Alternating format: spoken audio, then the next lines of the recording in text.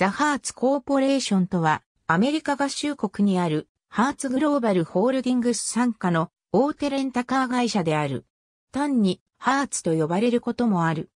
現在、世界で約5100店、アメリカ国内で約1900店ある。アメリカではシェアが第1位である。日本では1999年4月からトヨタ自動車と業務提携し、トヨタレンタリースと相互送客している。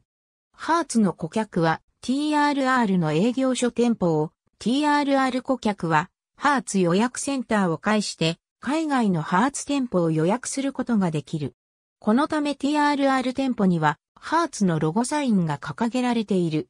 また、利用できる車種が TRR で取り扱うトヨタ車に限定される。ハーツのウェブサイト上の日本の店舗は、ローマ字表記の営業署名 RR で表記されている。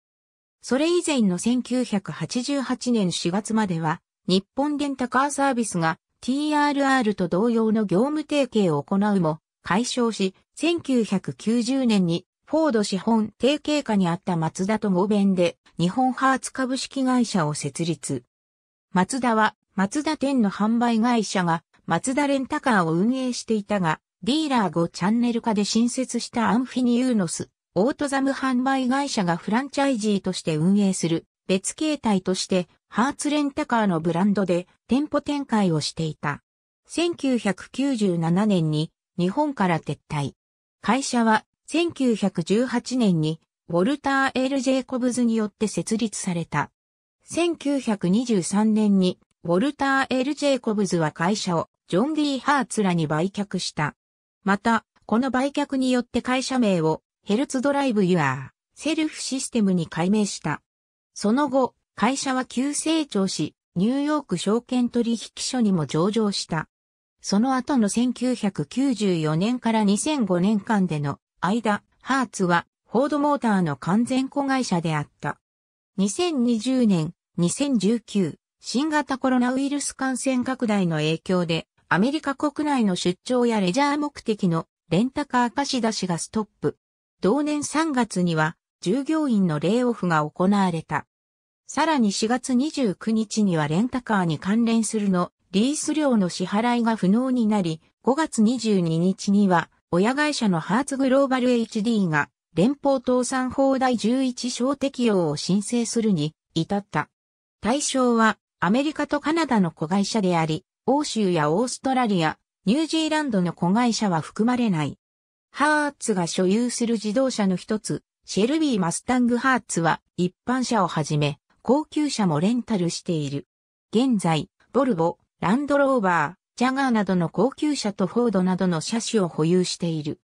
また、ハーツは他のレンタカー会社との競争のため、競争が激しいロサンゼルス国際空港などの空港周辺の店舗でメルセデス・ベンツ、アウディなどの車種も保有している。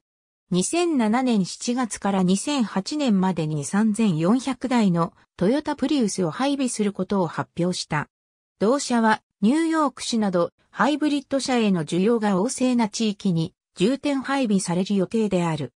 ハーツは同社レンタカー専用車としてフォードマスタングをベースにシェルビー、アメリカン車が改良したシェルビーマスタング GTH も提供している。完全予約制やいくつかの条件を満たしたドライバーしか借りることができない。レンタル料は1日あたり150ドル以上と他のレンタカーに比べると2倍以上する。車としては300馬力オーバーのスポーツカーである。最初はレンタカー専用車であったが、フォードが一般向けにも発売することを発表した。ハーツはレンタルしている車の車内にガイドナビゲーション機を設けている。カラーの LCD 表示で複数の言語の音声案内の機能もある。格納することも可能。カーナビゲーションの名称はネバーロストである。ガイドナビゲーション機は通常のカーナビゲーションの機能と目的地のガイド機能、地理情報がついている。ありがとうございます。